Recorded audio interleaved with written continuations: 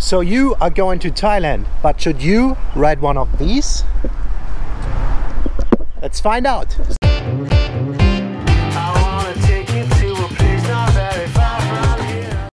What's up everybody? I'm Phil from Defi TV and I have been riding scooters all over Thailand for a combined period of over a year by now. So in this video I want to answer the question, should you ride a scooter in Thailand or not? Why ride a scooter in Thailand?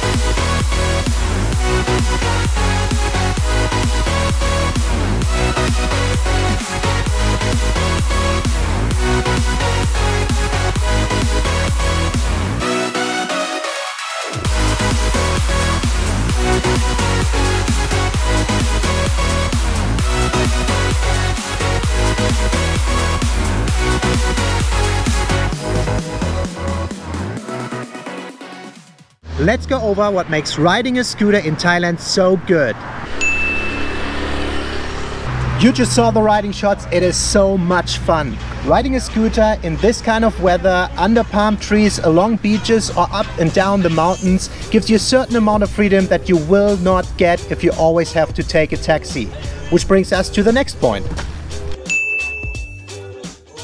The scooter is by far the most flexible way to go around in Thailand. Thailand's infrastructure is super scooter friendly. Most of the times you can park your scooter in front of wherever you are. Doesn't matter if it's your hotel, a small restaurant, a mall or even the airport. Parking is always right there and it's always free. But not only that, because of busy traffic, the scooter is also the fastest way to get from A to B as you can make your way through miles of barely moving cars and trucks. Renting a scooter in Thailand should cost you between 2,000 and 3,500 baht per month depending on condition, model, area and time of the year. Once you paid for rent, gas should be fairly cheap. It's about 30 baht for one liter and a full tank should last you a while. Little tip on the side, avoid places that want to keep your passport as a deposit. Although a normal deposit at decent places is about 1000 to 3000 baht and so far I always got my deposits back. Most rental places will not ask to see a valid driver's license and they will rent out any kind of bike to anybody. If the police stops you and you do not have a valid driver's license, it's your problem, not the rental places. But don't worry, if that happens, you can always just pay the cops a 500 baht fee right on the spot. And the craziest part is afterwards, they will just let you drive off, still not having a driver's license. Sounds too good to be true? It is.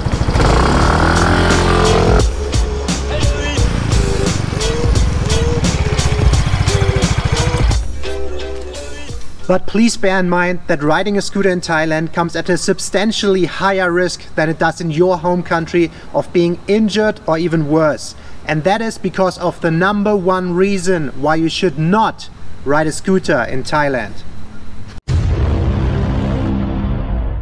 The traffic in Thailand is chaotic. It is very easy to obtain a driver's license for Thais or even drive without one. Traffic regulations might be in place but seem to be almost not enforced at all. Cars often completely ignore lanes or red lights and in general don't seem to think ahead a lot. And if you are used to stronger vehicles like trucks and cars being cautious with weaker ones like scooters or bicycle, in Thailand it is the opposite. It's in the interest of the weaker vehicles to better watch out for the bigger ones because because, well, you are weaker and you would suffer the consequences. Nobody gives you any room on the street and it's very normal for big trucks to drive up way too close behind you cutting you off on a regular basis or just push you to the side. There are other smaller factors like most Thai cars having black windows which makes it impossible to see the drivers making it even harder to anticipate their behavior. There's also an increasing tendency for a lot of drivers to constantly texting on their phones while driving.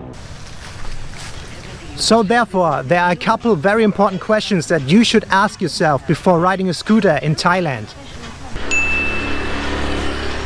Number one, are you an experienced motorcycle rider? Are you familiar with the technical aspects of riding a motorbike and does it come natural to you? Because if you don't know how to ride a bike, the streets of Thailand is not the place to learn how to.